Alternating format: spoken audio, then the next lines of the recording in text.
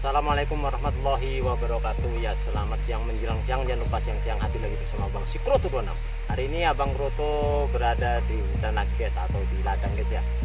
Yaitu akan mencari bidik-bidikan Dengan menggunakan katapel seperti ini guys ya. Saya akan membidik pohon talas guys.